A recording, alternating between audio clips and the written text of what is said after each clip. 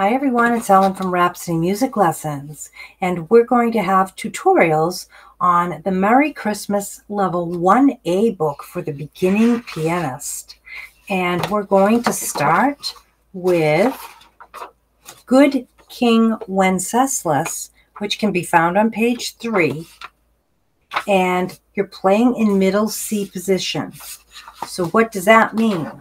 Well, if you're at this point in your lessons, you probably know middle C is right in the middle of your keyboard. So if you were imagining that you were chopping your keyboard in half, just imagining it now, hmm, the C closest to the middle or closest to the name of your piano, if you've got a regular piano, this is a digital piano, so it's a little different.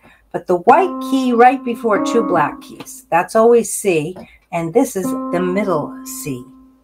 And when we play Good King Wenceslas, we have both of our thumbs on middle C. And just to review your finger numbers, thumbs are always one, two on the pointer, three on your tall finger, four on your ring finger, and five on your pinky. So thumbs are always one. One, two, three, four, five. Okay? And they're going opposite directions. One, two, three, four, five. One, two, three, four, five. Now, you put your ones on middle C, and it, they are sharing this key, which feels a little bit odd, but that's okay. And when you first start this song, you're going to notice that your notes are written in the treble clef, which means they are right hand notes. So you're going to start with your right hand, and once these notes drop down to bass clef, this is all left hand. And you'll also notice that the stems are pointing up to the sky for the right hand and down to the dirt for your left hand.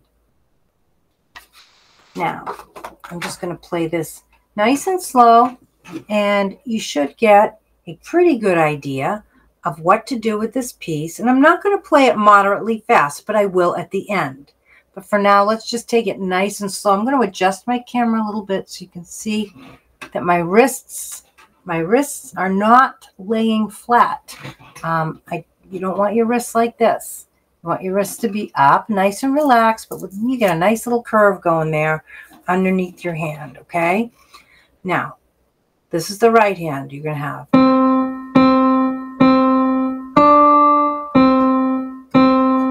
Switch to the left. Stay with the left.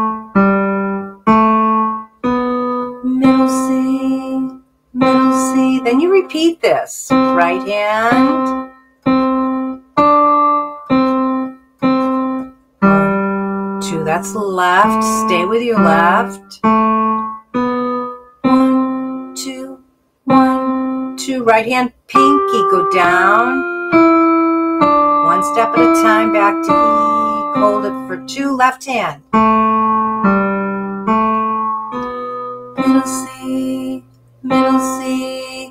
Stay with your left.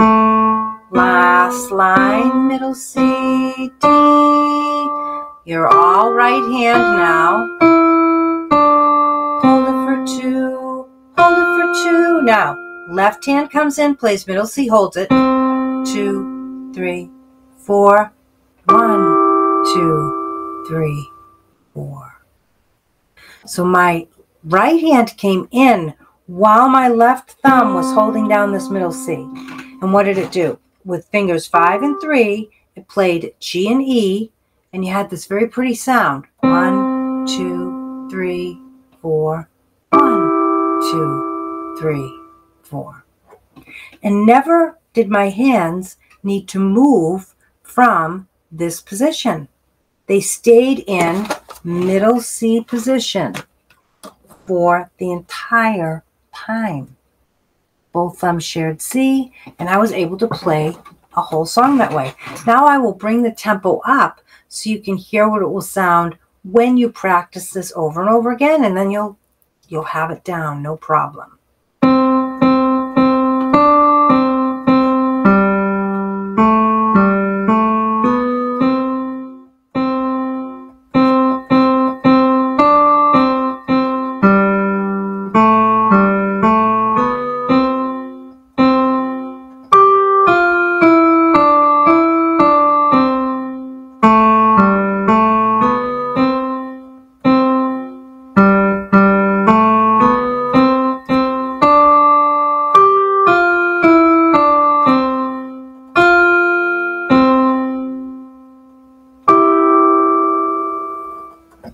And that's it. I hope you found this helpful. This is on page three of the Alfred's Basic Piano Library Merry Christmas Level 1A book.